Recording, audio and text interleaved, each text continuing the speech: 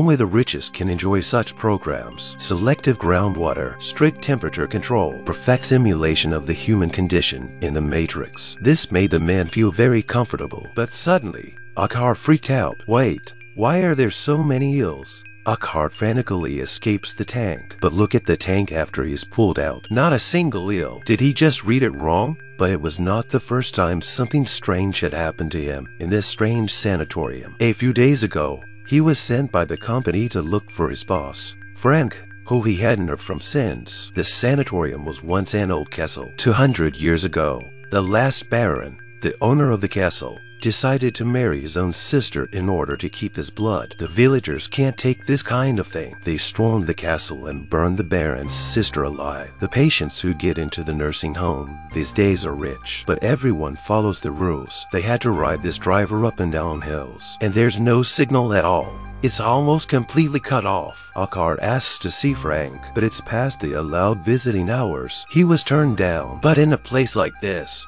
no one who comes wants to leave. The manager tells Akart that Frank is in therapy and can't see him. He asked Akart to come back another time. Akart was on his way back when a deer rushed out.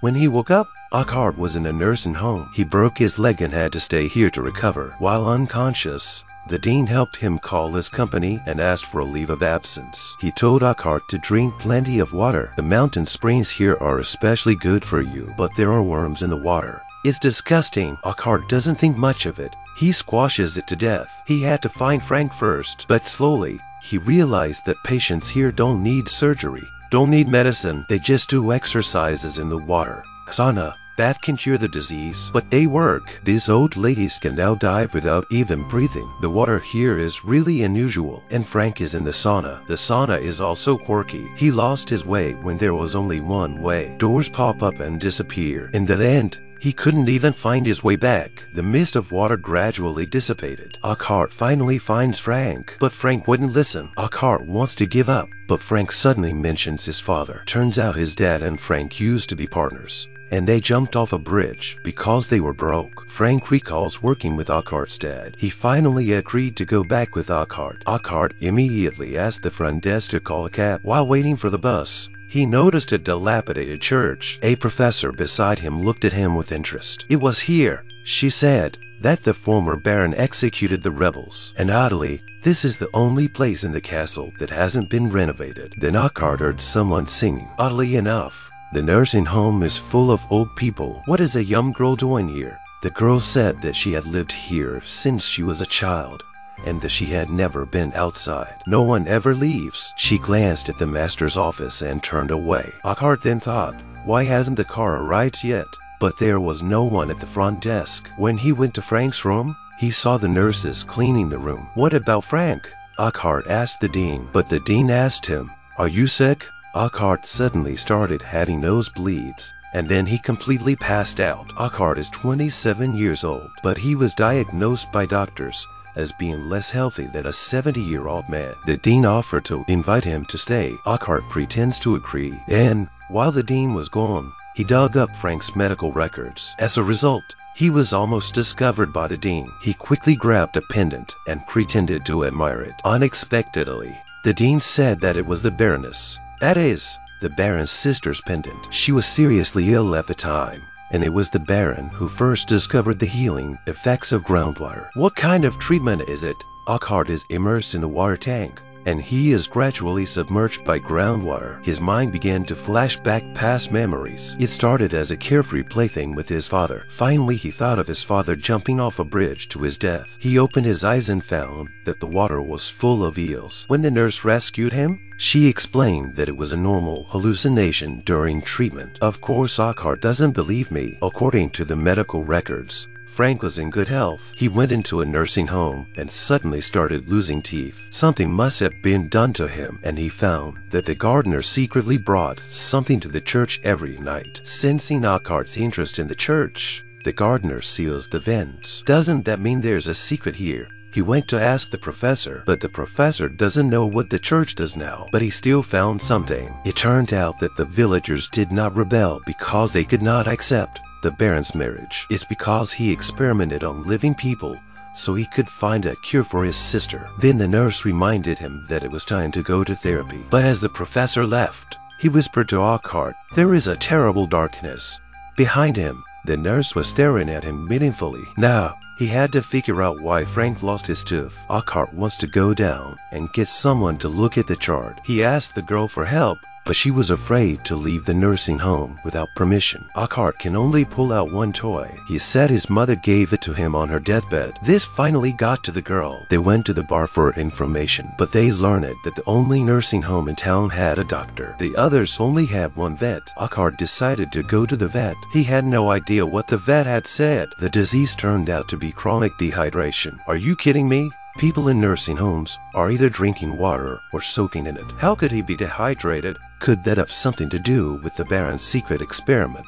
The vet said the Baroness was not ill at all. Each of her pregnancies was deformed, and she always miscarried. So the Baron was experimenting with groundwater to help his wife reproduce. He called immediately to report the situation to the company. But he gets yelled at, Why aren't you back? Ockart is confused. The dean didn't even ask for leave. He confronted the girl. What was going on? But just then the dean found them. After that, the weirdness kept piling up. Ockart found himself drinking water while his lips got drier and drier. Even he lost a tooth. While the nurse went to store the tooth, Ockart found out where Frank is now. He looked all the way, but found the professor first. The professor was clearly half dead, but she doesn't seem to know that she's still talking to Ockart about the Baron. In fact, she said the Baroness had been pregnant before the villagers rebelling. When the villagers found out, they dug up the fetus and buried him alive. But instead of dying, the fetus survived on the groundwater, and so on. Does the professor have something going through his body? He was so frightened that he knocked down the shelf. He was spotted by a carer on patrol. He quickly found a random house to hide, but when he looked out,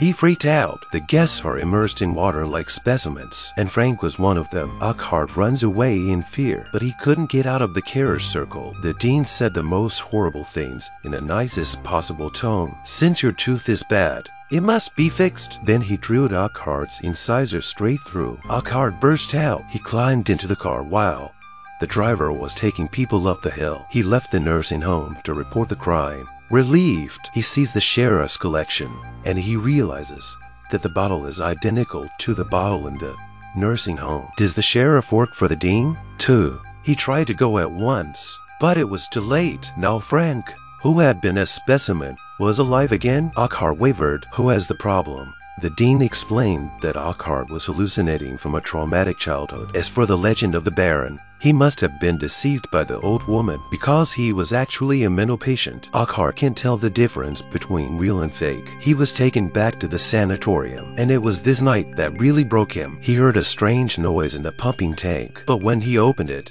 it was full of eels. But when he looked more closely, there was nothing in it. The eel must be in the toilet. He just took the toilet out, but the water that comes out is clean. He had to admit that he did have a problem. He even wanted to write a resignation letter to the company. But when he wrote a sentence, he felt strangely familiar. He had a flashback to his previous promotion. It was in the company message. Ockart woke with a start. He cut the plaster with broken glass. Sure enough, his leg was fine to begin with. Now, the only thing he hasn't been to is the underground church. Here are materials on the study of eels. A couple of deformed babies soaked in antiseptic. There were no cosmetics in front of the dressing table but human skin masks. His guess turned out to be correct. The sanatorium is doing the same inhuman experiments that the Baron did. There is also a picture of a woman in a hall. Ockart recognized the pendant on the portrait. She is the Baron's sister, but the more he looked at it, the more wrong it was. How could the woman look so much like the strange girl? Then the gardener came to the church as usual. He finally learned that it was the dead bodies of the sick that the gardener brought to the church every night. He immediately went to find the girl.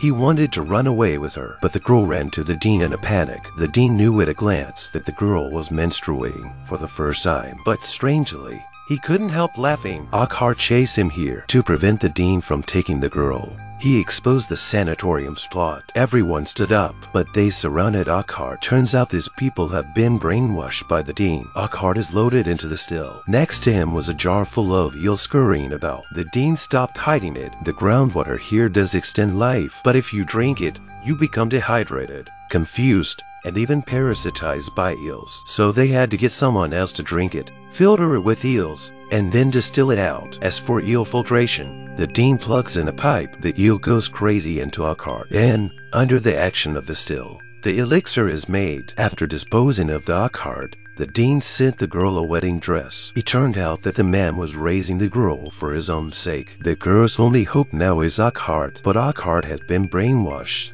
Two, the girl could only return the toy to him. Resigned to leave. At night, the whole sanatorium was in a party. Ockhardt sneaks into the dean's office. It turned out that after seeing the toy, his mind was finally awakened. He remembered seeing an old photograph when he first came. The picture shows a badly burned man. He smashed the frame and understood everything. It turned out that the Baron had not died but also survived with his daughter. A Baron is a prioress. The Baron never gave up his obsession with blood, but because girls use the elixir from birth, that's why she's maturing now. Now the Baron is going to have a child with his daughter. Fortunately, Ockhardt shows up just in time to ruin the Baron's plans. The Baron showed his true colors. Originally he had been burned beyond recognition can only rely on human skin masks to see people, Ockhardt has been pouring gasoline around. He threw out a lighter. The flames flared up in an instant, but the Baron didn't burn to death. He also pinned Ockhardt to the ground and hit him. Then the Baron heard the girl call him father. He looked back in surprise, but he was beaten to death by his daughter. The fire in the underground church also reached the nursing home. The carers fled in panic. The old people are still dancing silly. Ockhardt took the girl out of the nursing home. On the way,